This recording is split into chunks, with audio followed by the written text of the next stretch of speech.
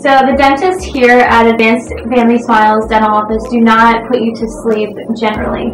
Um, we do have local anesthetic that we use intraorally um, to numb your mouth. And then we also provide nitrous oxide.